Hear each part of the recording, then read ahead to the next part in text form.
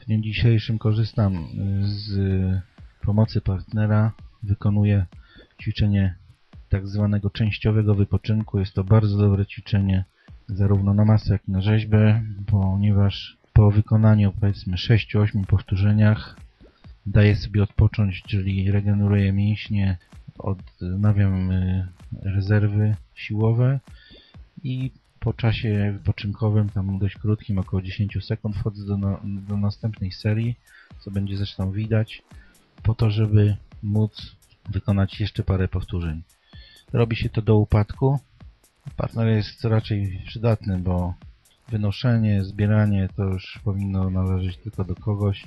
My się powinniśmy skupić na wyciskaniu, na czystej technice, Tutaj też raczej się nie stosuje e, żadnych praktyk e, negatywnych ruchów, ponieważ ma to za zadanie zmuszenie do pracy własnego tutaj organizmu. Każdy indywidualnie dobiera ciężar, żeby w pierwszym w pierwszej serii po rozgrzewce wykonać 8 powiedzmy powtórzeń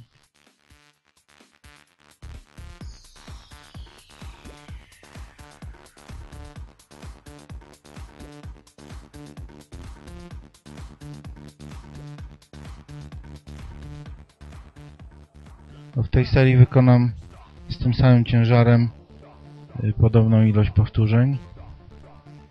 Takich serii wykonuję 3, nie 4 jak w większości wcześniejszych, ponieważ jest to bardzo eksploatujące ćwiczenie i już y, raczej 8 powtórzeń nie, nie, nie, nie będzie możliwe do wykonania w pierwszej serii, ale dalej robię to do upadku, czyli odpoczywam chwilę, po 10 sekundach wchodzę, wykonuję kolejne powtórzenia. Każdy ma inną wytrzymałość. Jeden powiedzmy będzie dalej mógł robić po parę powtórzeń. No raczej e, w moim wypadku to jest dość, dość du duży ubytek siły. I do ostatniego powtórzenia, w którym już nie jesteśmy w stanie nic zrobić.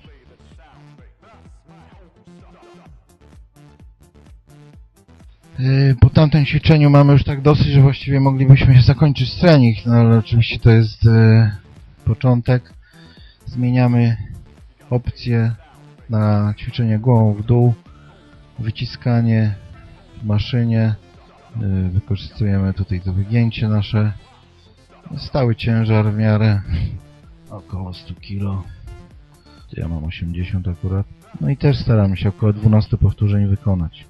Po skończonej serii staram się zawsze napiąć na 10-20 sekund jeszcze mięśnie i przechodzę do odwrotnych takich, można powiedzieć, rozpiętych.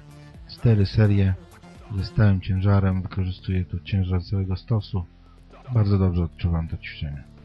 Jest 9 marzec, kolejny tydzień za mną. No, za, zaczyna się pojawiać lekkie unaczynienie. Waga 112 kg bez zmian. Ja jeszcze pokasuję tutaj po tej chorobie. Coś się tam lekko pojawia. Zobaczymy jak dalej. Owłosienie pozostało, masy nie przybyła, łysina ta sama. Mam nadzieję, że nie będzie najgorzej.